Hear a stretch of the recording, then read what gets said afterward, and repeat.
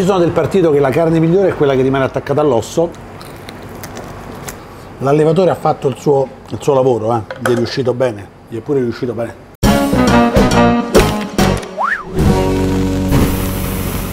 Tirrenia, cittadina sul mare a metà strada tra Pisa e Livorno.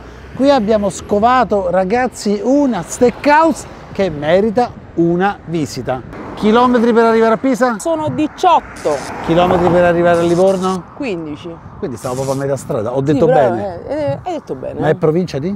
Di Pisa. Benissimo, ok. Però è più vicino a Livorno. Ah, Hai capito ok, mica? sì. Non ci hai capito niente, però avete capito voi. Allora, là dietro c'è quella steakhouse che stiamo andando a visitare, si chiama Barroso. Eccolo, siamo arrivati. Ristorante Beef Steccheria. Notare il gioco di parole. L'avevi mai vista una beef steccheria? No, beef steccheria no. Barroso. C'è il toro, insomma c'è tutto. La prima cosa che salta all'occhio è questa parete di carne. Faccio così? Sì? Faccio come pala barale davanti il tabellone di Mac Buongiorno? Perciò vieni Paola, così puoi fare il tuo dovere. Buonasera. Innanzitutto, Hai detto Barale e Mike Buongiorno. Sì. Ci siamo praticamente giocati tutti nati dal 2000 in poi. Adesso mi fai anche un paragone con la Ferragni e Fedez, va Eh, bene? lui- come fa la Ferragni quando va nella sua cabina armadio? Insomma, immaginatevi quanto è grande la cabina armadio della Ferragni. Benissimo, ora abbiamo anche il pubblico nato dopo il 2000. Ok. Però prima di entrare nelle viscere dei ristoranti io una chiacchiera veloce col proprietario me la farei. Amici di Bracimi ancora lui è Nicola, è il proprietario di questa bella steakhouse. Nicola, tu di dove sei? Di? Pisa, Pisa. Avevi un ristorante a Pisa, Avevo- sotto la torre. Sotto la torre. sotto Però la torre. non ti piaceva? Non mi piaceva, ci ho passato vent'anni della mia vita, gli devo tanto a quel posto, però poi ho voluto prendere solo la parte che piacerebbe trovare a tavola a me di Ok. questo mestiere. E Perfetto. quindi mi sono spostato in una zona molto più appartata, dove i tavoli possono essere larghi, dove l'ambiente è sicuramente più rilassante. Ho visto la selezione qui dietro, mi sembra molto interessante. E facciamo una piccola intrusione in cucina? È regolare. Signori. Entriamo nel tuo regno, eh? prego. Guarda qua che bella macchina che c'ha, lui c'ha la Ferrari. Senti, da che iniziamo? Una bellissima, fantastica tartare di podolica, una riduzione di cipolle di tropea e lamponi, accompagnata da una patata pavé e una mousse di foie gras e nocciola. Ragazzi, ormai lo sapete, l'esame di Paola sulle tartar è spietato. Vediamo che ci dice. Questo è un piatto che mostra subito i muscoli, quindi lo chef ha carattere, non ha paura di osare e fare anche abbinamenti azzardati, perché mettere foie gras assieme alla nocciola devi saperlo equilibrare bene perché tendenzialmente se no l'u- l'uno potrebbe andare ad uccidere l'altro. Ci sono molti elementi che non sono facili da abbinare, lui ci prova, è giovane, è coraggioso. Sofia, vero? Sì, ciao, piacere. Che birra mi hai portato? Ti ho portato l'opificio birraio, la Noctua, una birra bionda artigianale con una leggera cadenza limonata che si addice perfettamente alla, alle tartar. Sofia ci ha portato la birra, ma volendo avrei potuto ragazzi scegliere fra tutti questi vini, non male. Ah, guarda che ho visto, vieni qua. Questo è Coselito, Hamon, Gran Riserva. Questo è il top del top. Qua si va in paradiso. Sì, d'accordo, costerà un pochino di più rispetto agli altri prosciutti, ragazzi, ma stiamo proprio su un altro pianeta.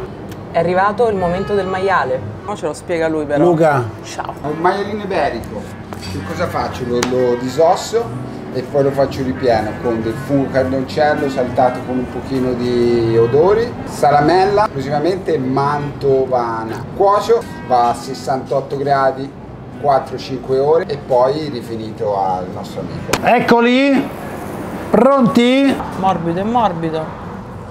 La cotenna pure si vede che ha avuto una cottura a bassa temperatura prima di passare nel Josper. Sapete che vi dico? Che la combo contura CBT Josper è spaziale.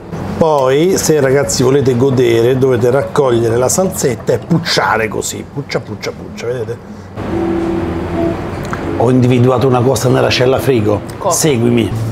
Ma c'è un bel pezzo di carne giapponese. e ho letto nel menù che fanno un piatto con il Kobe molto molto molto interessante. Questo ragazzi è il pezzo originale che il buon Luca fa eh, diventare praticamente dei cubetti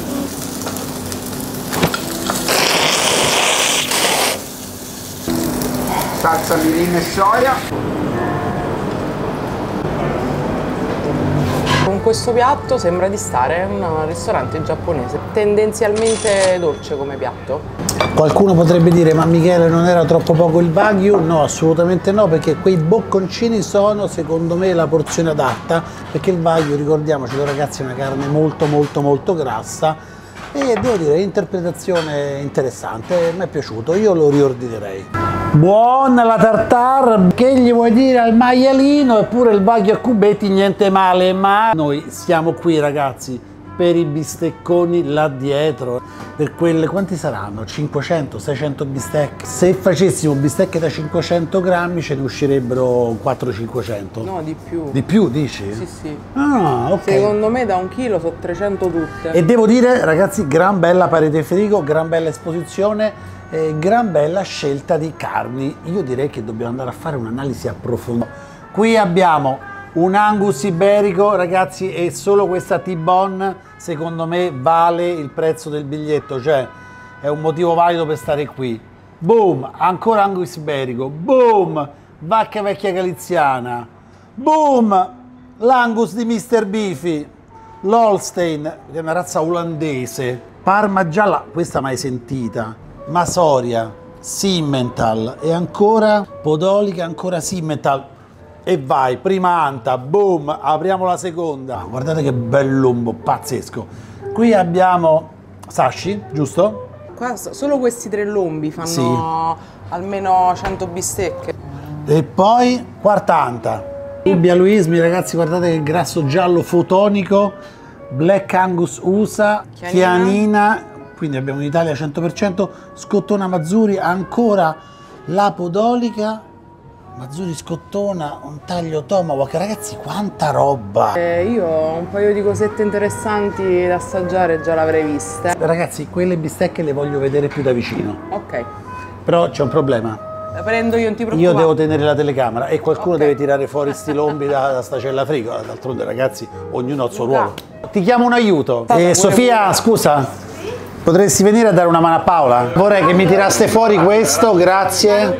Sì, tu e Sofia, il Black Angus, quello accanto. Dai, su su ragazze, poggiate qui. Questa chianina, grazie. Eh, senti, là c'è una podolica. Ti piace fare queste cose, capito? Da morire. Ah, l'angus iberico, bello. E il parma giallo. Bello. guarda. Oh, mi piace. Questa ragazzi è solo una minima parte della carne. Questa steakhouse propone ai propri clienti. È una bella lotta. Una ne scelgo io e una la scegli te. Ah, io scelgo questa ragazzi, Rubia Luismi, perché su questa carne c'è un sacco di racconto da fare. E io allora ti scelgo questa chianina perché la vedo molto bella e contrapponiamo due sapori completamente diversi. Oh, guarda che bella, mamma mia, Eccola. Perfetta. spettacolare. Sto Un chilo 8,30. Vabbè, dai.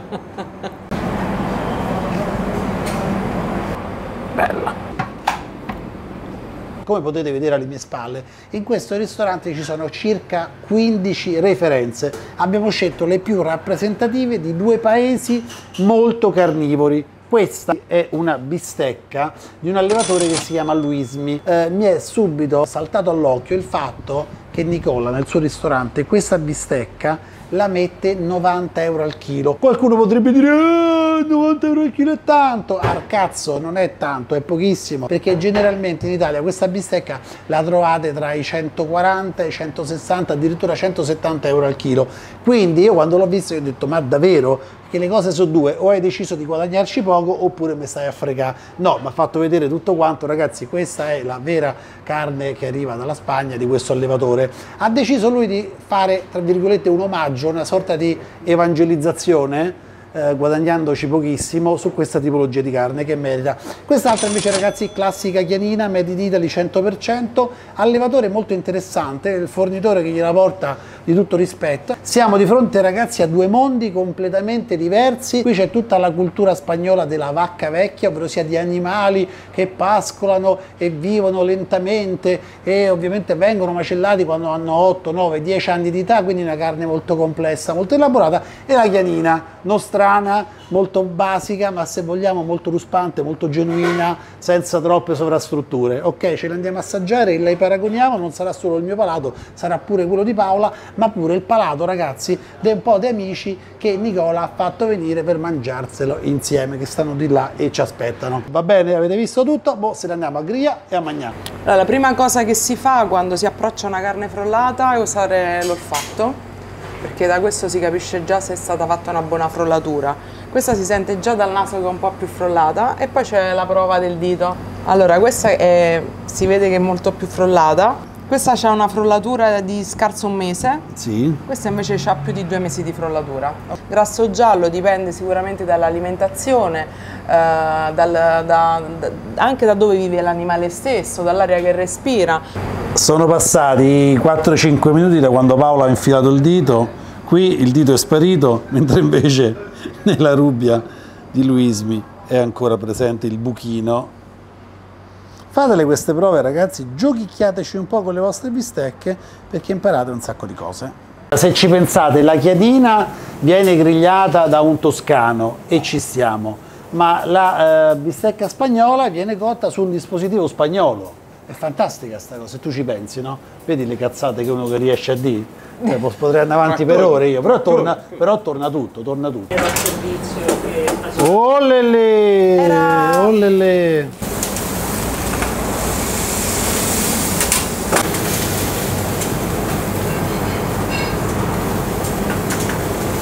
Allora Nicola, tu praticamente che fai? Allora, prima le cuoci nel forno, poi che fai?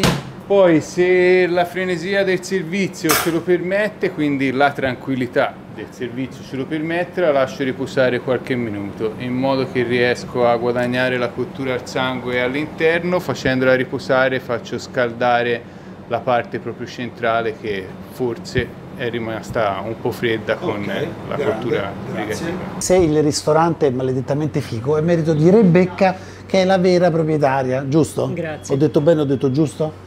Comunque complimenti, si vede che c'è il tocco femminile, Troppo lo sai? buono, Si troppo vede che buono, c'è il tuo tocco. E grazie a te averci, di averci invitato. Ragazzi, questa è la chianina e questa è la rubbia di Luismi. È un burro ragazzi questa rubbia e devo dire che rispetto a tante rubbie che ho assaggiato è anche leggermente più delicata, promossissima, safaissima. E noi, mentre questa va a deliziare i nostri quattro amici, tagliamo la chianina. Wow, perfetta ragazzi. Paola, stesso copione di prima, scegliti un pezzetto Scelgo questo che c'è anche un po' di grasso. e dai. eh. Questa chianina è, è una roba paradisiaca perché nonostante ha pochi giorni di frollatura, siano 20, ma già di una morbidezza, di una dolcezza, si sente che l'allevamento è stato un allevamento veramente serio e per essere una chianina è anche, c'è anche un sapore che ha quel kick in più. Safaissimo pure questa. Tutti i fenomeni a fare l'assaggio con il pezzetto di carne, come in questi casi, questa è la rubbia, invece questa è la chianina, eh, il confronto io lo faccio con l'osso, ok? Questo è l'osso della rubbia. Io sono del partito che la carne migliore è quella che rimane attaccata all'osso ed è qui che mi piace andare a approfondire e devo dire che c'è tutto il carattere di questa rubbia di Luismi e in questa rubbia c'è la nota selvaggia. È una carne di altissimo livello. Questa è l'osso della chianina. La carne è tenera, anche, sua- anche lei una sua eleganza. Tecnicamente non gli si può dire assolutamente nulla, perché l'allevatore ha fatto il suo, il suo lavoro, eh. gli è riuscito bene, gli è pure riuscito bene. Sarebbe disonesto dire qual è meglio e quale è peggio. È giusto parlare di uno eh, quale carne preferisce. Siamo sullo stesso livello. Entrambi hanno raggiunto il top delle loro categorie. E ora andiamo a vedere i nostri quattro amici scrocconi che preferiscono. Attenta eh, che mordono. Eh. Eh, allora, Ok. signori scrocconi, mi hanno detto che questo è il tavolo degli scrocconi. Ho scroccone numero uno. Quale bistecca ha gradito? Io preferisco la seconda. Quindi la quella, chianina. la chianina. Ok, scroccone numero due. Rubia, La rubbia. sapore più intenso, più, più nelle mie corde. Scroccone numero tre. Sono d'accordo con lo scorcone numero 2, Rubia. Io invece anch'io numero due, la chianina. Ok. Buon- buonissimo tutte e due, però la chianina preferisco. Ok, quindi abbiamo un pareggio, Michele. No, Paola. Paola, non abbiamo un pareggio, abbiamo un tavolo dei democristiani che si sono messi, si son messi d'accordo prima. Poi io ero pro Rubbia, tu eri pro Chianina, 3 a 3. Grazie ragazzi. Ciao. Ciao, buona Ciao, ciao, ciao.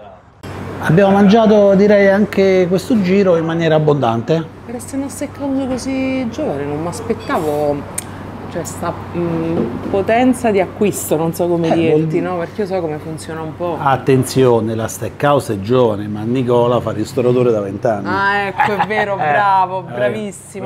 Posto promosso, prezzi assurdi. Per me è un ristorante che merita assolutamente una visita. Quindi per me è promossissimo. Chi vuole il gourmet trova il gourmet, chi vuole i bistecconi trova i bistecconi, c'è il Josper che fa la sua parte e i dolci non sono niente male. Ci torneresti?